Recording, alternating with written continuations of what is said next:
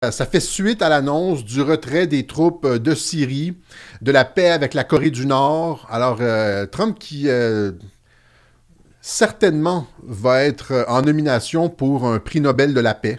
Bienvenue sur Radio-Québec. Les Québécois parlent aux Québécois. Présenté par Alexis Cossette.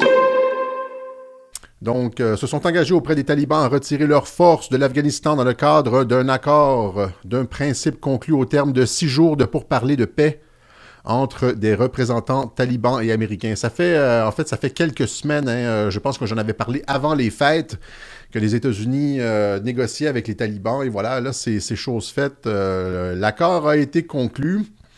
les États-Unis qui sont en train de retirer leurs troupes de partout, d'un peu partout à travers le monde.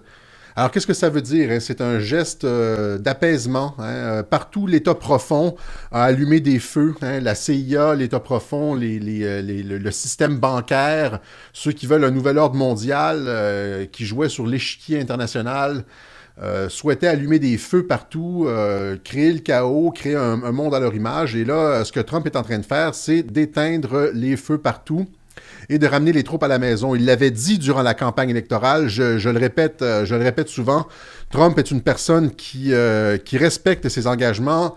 Tous ses engagements de campagne électorale vont probablement être réalisés avant, euh, avant l'élection de la présidentielle de 2020. Tout le monde disait que c'était le début de la Troisième Guerre mondiale. Je l'avais dit dès le départ, Trump n'est pas un guerrier, il éteint les feux. Même si euh, Nikki Haley, la représentante à l'ONU, était allée dire hein, on s'en vient sortir Assad, même si les généraux euh, disaient on va sortir Assad, on s'en vient avec des troupes, des tanks en Syrie, et Trump avait placé des personnes dans son administration qui pouvaient laisser croire hein, à un, style interventionniste le, noyau central de Trump, le, logiciel, le plan, hein, Trust the Plan, le plan, c'est exactement le contraire, c'est de faire le contraire de ce que l'État profond souhaite. L'État profond souhaite déstabiliser des régions, créer des guerres, des conflits. Euh, Trump fait exactement le contraire. Il, sort ses troupes et il stabilise les régions. on nous euh, présentait Trump comme celui qui allait déclencher la Troisième Guerre mondiale, et euh, finalement, c'est Trump qui s'est joué des médias. C'est Trump qui s'est joué de l'État profond. Et là, je vois pas comment euh, il va être possible, dans les mois qui suivent, euh, de ne pas lui donner le prix Nobel de la paix. Vous comprenez? Euh, ça va devenir impossible. S'il y a la paix avec la Corée du Nord, il va y avoir un autre sommet. Ils, ont, négocié pour un autre sommet avec Kim Jong-un. Si